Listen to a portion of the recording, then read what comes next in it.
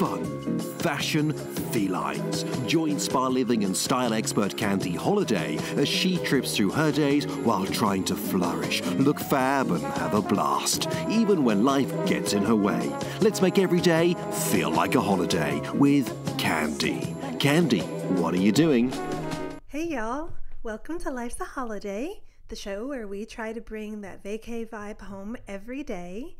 And I am so stoked today. I cannot wait to tell you about our two special guests. We have Phil Keoghan from The Amazing Race. He's the, one of the creators and the host, and Samantha Brown from the Travel Channel. And they are two of my all time favorite people in the world. And I don't really get gaga over celebrities or anything that much, but I love these two so much because they have not only did they have my dream job, so maybe a little jealous, but they also have this like zest for life. They've overcome a lot of obstacles and they still just forge ahead. I was seriously psyched when I heard that they were going to be at the LA Travel Show, which we were invited to cover for the podcast. I mean, how cool is it that we get to launch our holiday makers? Yes, holiday maker. That's what I call anybody that just goes after what they want, that's happy, that creates a life that they love. And definitely Phil Keoghan and Samantha Brown are that. And I can't take full credit though for coming up with the term holiday maker because literally in England, that's what they call people that go on vacation. They're like a holiday maker. Isn't that just so fab? And I am so enamored with people like this. I'm always reading about them and studying them and just wanting to emulate, you know, that kind of spirit they have. That we're going to do a whole series on holiday makers or called Holiday Makers. So watch for more episodes and wait until you hear about how Phil has come up with this incredible philosophy and what inspired him to come up with it that just kind of helps him focus and go after what he wants without hesitation. And Samantha gave us some really great advice on her favorite spa and her favorite spa treatment. So, yay, pull up a chair, grab a cocktail, and get ready to be inspired. And oh my gosh, before I forget, I also discovered two new spas to tell you all about. One is in Denali National Park in Alaska, and the other is in Zanzibar. like, ooh, like so tropical and fabulous. I can't wait to tell you guys all about those. But before we get into that, let me tell you about this crazy recipe that I tried from Pinterest. So, do you all do Pinterest? I am addicted to it. I love it. So there's something about putting those pretty pictures and all the boards and just creating this just beautiful, happy, healthy life. It just really just draws me in. and I came up with this kind of crazy plan to actually try the things on Pinterest. And especially because I kept seeing pins on my board and I'd be like, you know, what is it? Why does this have like 20,000 repins? It must be like super amazing. and I was just like, I have all these great ideas on here and I really, really, really want to try some. So I've been kind of like on this mission. And as you can imagine, sometimes they turn out really great. This is what I found. They either turn out super amazing or they're like huge flops. And one that I tried out recently was for this, and don't, don't gag, don't gag yet, this cauliflower oatmeal. And I know, I know, I know you're, you're thinking, what on earth? cauliflower oatmeal. Ah. And, but cauliflower is one of those things, it's a great chameleon vegetable. I make tater tots from it. I have a recipe for fettuccine alfredo that is amazing and it doesn't have any cream in it. All really good, all sound kind of crazy, so you just never know. And plus, I'm all about eating more veggies at breakfast. It's one of my little secrets that I try to do. The more veggies and healthy things you put in your body, especially earlier in the day, it just like sets that tone. It kind of keeps that that healthy habit thing just rolling throughout the day. And I'm sort of somewhat paleo. I try to eat more protein and not as many carbs. I used to be like the carb queen. That was practically half my diet. It was so bad. But anywho, this pin had 8,000 repins. The picture looked, of course, gorgeous. Y'all, no, so, so bad, so bad. it, it had, I mean, listen to these ingredients. It had like brown sugar, coconut milk, apples, nutmeg, all kinds of yummy things. It almost reminded me of that Quaker oatmeal, like the maple brown sugar Quaker oatmeal. It should have been good, right? It should have been good, but no, it was like wallpaper paste. It looked like wallpaper paste. It had like this like thick, gloppy consistency of wallpaper paste. And it tasted like cauliflower with sugar on it. The cauliflower wasn't disguised at all. And I'll put a few of the pins for the cauliflower oats or notes in the show notes. Y'all can have a look and see for yourself. And if you want to try it, go for it. If it comes out good, let me know.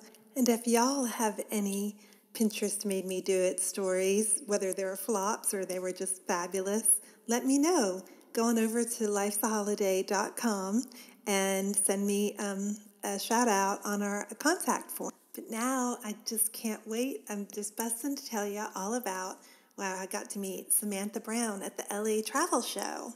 And if you don't watch Travel Channel, she is just one of the hosts of their shows, and she is so fun and amazing. She tries all kinds of crazy new things. She always looks adorable. She has like this really, she's like tiny and has these cute little dresses and fun little outfits. And like I said, her style's so great that she even has her own luggage line now. So a true holiday maker for sure. And I got to ask her um, some questions from the podium. So I didn't get to actually, like, you know, do a recorded interview, but I just had to tell you all that she told me that her favorite spa, and, you know, she's been to tons, is the 10,000 Waves and that's in New Mexico. I'll put a link in the show notes for you. And she said her favorite treatment that she's ever had there is Watsu. And Watsu is where you have a massage under the water. Like, not totally, but like you're floating on your back, and then the massage therapist massages you in the water. That's one that I've never had, but doesn't that just sound so dreamy? Just perfect, especially because like I love to soak in the tub, so I can just imagine like what if someone's giving me a massage in the bathtub, in a pool, it would be even more amazing. Or some spas like do Watsu in the ocean, that might be that might be a little scary for me though. I, I think I'd be sitting there just thinking. You know, what if some shark or some crazy animal comes up from underneath? But but definitely try Watsu, and Samantha was just all over it. She just couldn't say enough positive things about her experience there. So, thumbs up, 10,000 waves if you're listening. And while I was at the travel show, after I talked with Samantha, I met this really cool woman who started a lodge that has some spa, spa aspect to it in Zanzibar. Like Zanzibar. Don't you just love saying that? It just sounds so exotic and like mystical, like like a story, almost like a fairy tale. My name is Elise Hagedorn. I own, together with my husband, Unguja Lodge on Zanzibar. Unguja Lodge, yes. And it's located on one of the more pristine beaches of Zanzibar in the south. And it's it's at Menai Bay Conservation Area, so it has beautiful sea life, beautiful, um, yeah, beautiful uh, feel, and it's all very intimate and very private. Yes, and um, how many? Um, it's a small lodge, isn't it? Yeah. How many guests can you have at a time? We have 12 what we call villas. Uh-huh. So, depending a little bit on how many families and how many couples, uh, but on average, when it's full, it has about 30 people. Oh, wow. And so, and from the lodge, you can arrange safaris and other activities? Yes, well, on Zanzibar, we do mainly the water activities and more cultural activities like visiting the local village together with our guide Rashid. Uh, you can visit the Stone Town, which is a UNESCO cultural heritage uh, site. Um, you can visit the spice farms where Zanzibar is famous for. It's called the Spice Island. Oh, okay. So that's uh, yeah, we can do a lot of nice trips on wow. Zanzibar. And so, um, and your spa is how many um, treatment rooms and what kind of like local treatments do you offer? We don't have really a, like a spa building, but Okay. we have a, a local lady from uh, from Zanzibar. Her name is Erika, and she does um, massages in the private villas. They're so huge and they have sea view. So on the terrace, on the portable bed, Oh, she will nice. give you a, a beautiful local massage. Oh, that's better. I think that's better. I love it when it's in your own villa. Yeah, Then yeah. it's more private. It's very private, Yes. exactly. And um, what does like does she use um, local? Like you're Yeah. telling me about the Swahili head massage. Yeah. So how does she incorporate the local Yeah. traditions into that? So, like Zanzibar is a, is, is a cultural mix of, of many people, influences, cultures, etc. Because it was, used, to be a trade hub. So you will, uh, in the massages, you will notice many Indian influences. And that is combined with the local uh, spices and local oil that she uses for the massage. So, for instance, she will use the basis will be coconut oil because that is abundantly available on Zanzibar, and people cook, do everything with it, cook with it, massage with it, um, whatever. And then she adds different spices for different massages. So she will use different spices for the head massages, different massa- uh, spices for the back massages Oh. And that's that is the knowledge that they learn from generation to generation. Oh, that's amazing. That's so wonderful. I can't wait to come and visit. and, and and speaking of that, like how um how far in advance do you think people would need to reserve? Like, do you stay fairly booked up um, if they want, or and how would they? Would they come to your website or? They can um, they can come to the website. They can uh, book. Usually, um, people in California will book through Infinite Safari Adventures. Okay. Uh, that is located in um, in in LA, Okay. in Studio City. So that's very easy to organize. I would suggest, especially for the for the busier seasons, start looking at it half a year in advance. Wow. For the for the more quiet periods outside the the school holidays, I would say you don't need so much time. But it's a small lodge, so you know it can be booked up. And if you want a room of your preference, then yeah, then Yeah. I would say like half a year. Wow, that's excellent. Okay, well, good to know. Well, thank you so much for talking with me. Doesn't that just sound so exotic? I know after listening to her talk about it, it almost makes me want to just like go open a spa or at least go visit hers. She's got such a passion, she and her husband, for it. And that's just, that's the kind of thing that makes your experiences when you go to these spas just incomparable. So definitely the Unguja um, Lodge in Zanzibar on my list. Check. and that is not the only spa that I discovered at the LA Travel Show. I was speaking to some gentlemen uh, about Alaska travel, and I've always wanted to go to Alaska. And I, I feel like it's just such a, a rugged, beautiful, I just know it would be a really breathtaking place to go visit. And there is a, the, at Denali National Park where they have a big, the big Denali Lodge. They also have a spa there called the Nest Spa. And I got to speak to one of the managers all about it. Hey y'all, it's Candy. Um, we are at the LA Travel and Adventure Show, and I'm found another amazing spa to suggest to you guys. Um, it's actually in Denali National Park in Alaska. And y'all, that's on my list to visit a spa in Alaska. And I was talking to Christopher. Um, he is the general manager. So, um, Christopher, when is the best time of year to come to um, Denali, to the spa in Denali? Well, I would say that any time is really a good time to come to a spa in Denali, but specifically, I would say probably August 15th to the end of the year, September 15th. We're only open for four months, so the the best time to come August 15th, September 15th. You get the the wildlife in the park, the fall colors in the park, uh, the beautiful landscape, and opportunity to see northern lights as well. Yeah, and you tell me like you do even photography courses, so you can get out there and really capture it and keep that experience. So, if somebody wants to book uh, a visit, uh, where do they can they go online?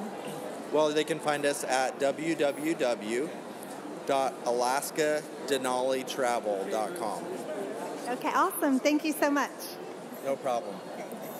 Oh, I'm so psyched to go there and visit the Denali, the Nest Spa at the Denali Lodge.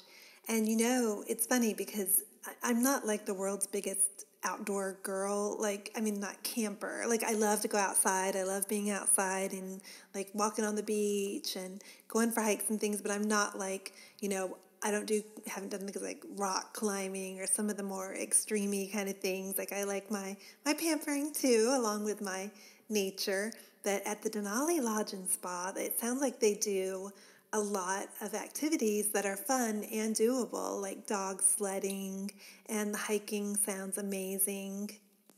It would definitely be a great spa to like take your man to because there are like all those activities. It's not just where you're going to go and do massages, although they do have a treatment at their spa just for hikers, specially designed for your like feet and legs when they're tired after a day of hiking. So the Nest Spa, and I will have links to both Unguja and to the Nest on our in our show notes. So be sure to check those out if you're thinking about a spa vacay coming up. And if you are, lucky you. but next to the pièce de résistance, I am so jazzed to tell you all, or to introduce uh, my interview segment with Phil Keoghan of The Amazing Race. And I learned about Phil is he has this unique philosophy towards life and he calls it now. And that means it stands for no opportunity wasted. Isn't that fabulous? Like just such something to always remember. Like what a, a go-getter somebody like him is. That's what he does. He comes up with this acronym that he just has in his mind now. So instead of like procrastinating, which I know I'm a terrible procrastinator, that's something like that. That's easy to remember and just kind of gives you that extra little bit of motivation, especially when things seem kind of difficult or undoable. Andy also had a really great story about one time when he's had troubles in his travels, which obviously he has, and he this is a little incident he had in, at the airport and so, without further ado, here is Phil Keoghan. Um, I did. I did get held up at an airport once. Uh, we were in Ukraine, and they didn't like my New Zealand passport. Most of the time, traveling with a New Zealand passport is actually a good thing because they kind of see us like it's it's sort of like a Swiss passport or something. You know, they kind of like, oh, New Zealand, yeah, you guys are tucked away at the bottom of the world there. Yeah, go ahead. Um, but anyway, for whatever reason, they didn't like my passport. And so it was like 1 o'clock in the morning. We were arriving uh, about eight hours before the teams were arriving. And they took me off to a holding room. It was dark, and there were some plastic chairs near the entrance of this room. I could just smell that there were people in there, but I didn't know that there were people in there. And the lights were off. It's like 1 o'clock in the morning. And I was like, smells like a lot of people in this room. And so I uh, decided to make myself comfortable on the plastic chairs because I knew I was going to be there overnight. And the chairs had those handles, so the only way to lie down uh, instead of lying on the concrete floor was to get myself through the plastic handles, which, you know, then, so I slotted myself through the plastic handles and, and then I had my backpack, I took everything out of it and put the, you know, that on where my hip was on the plastic and I fell asleep. When I woke up the next morning, I realized I was in this huge room about the size of where you're all sitting here with like there were people all stacked all the way back into this room. I had absolutely no idea. Thankfully, uh, there was somebody at the embassy in, in Ukraine who was a huge Amazing Race fan. She found out that I was stuck in there and stayed up all night and miraculously managed to get me whatever documentation I needed to get out of there. I had no time to shoot any of the challenges. I rushed to the pit stop and greeted the team. They did not beat me. Once again, they did not beat me. I got there before them.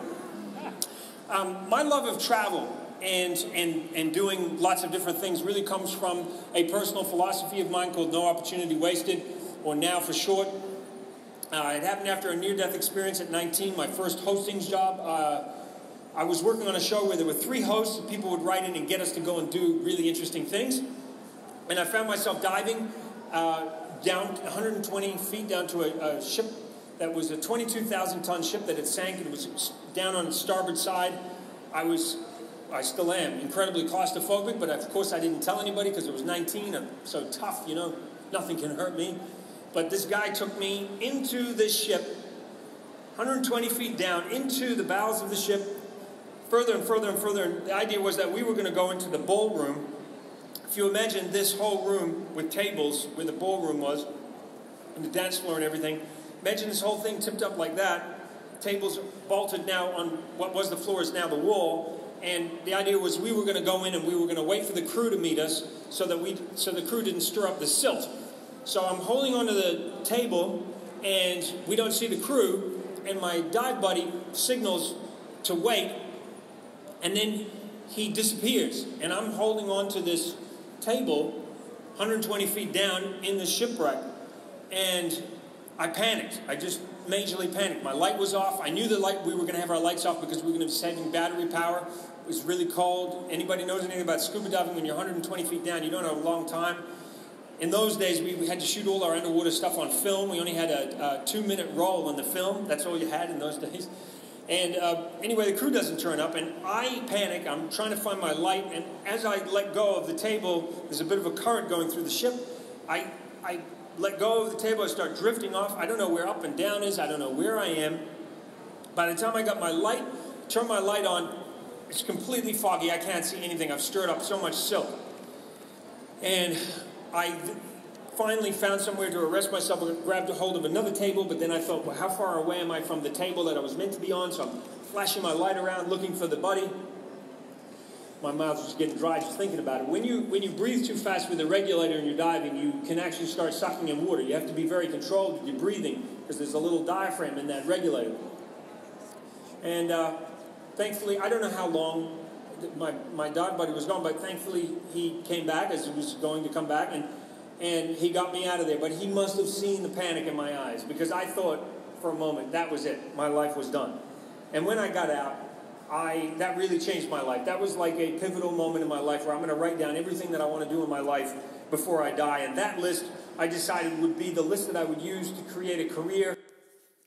I don't know about y'all, but I want to be Phil when I grow up. if I could do even a tenth of the things he's accomplished and have just even a little bit of the fun that he's had, uh, I would be very, very happy girl. And I am definitely trying, as we all are, I think. And anyway, so that was it from the LA Travel Show and our very first Holiday Makers episode. I hope you enjoyed. Like I said earlier, if you know of someone who's a holiday maker who just makes life feel more more joyful and happy and or somebody you've admired, you don't have to know them, let me know. Uh, contact me on the lifesaholladay.com website, and you never know, maybe we can get them on the show. And I want to give you a heads up that we've got some really fun episodes coming. We've got um, some spas that I visited in the UK. We're going to be doing our spa along episodes. And right now, with Brexit, UK is a great place to go spa because the pound, unfortunately for the British, but fortunately for us at the moment, the pound is really weak, which means your dollar, your spa dollar, goes farther. And while we were on hiatus, I have an episode about the little Travel Channel audition that I did. I actually auditioned for uh, to host a show on the Travel Channel. It's like one of my dream things in life, and uh, I can't wait to tell you all about it. So until next time, cheers to making every day feel like a holiday, and we'll see you soon. Bye. Don't forget, you can shop the show and get the 411 on this episode at lifesaHolladay.com. That's H O L L A D A Y.com. Meet Candy on Candy Holladay YouTube channel for more adventures. See you next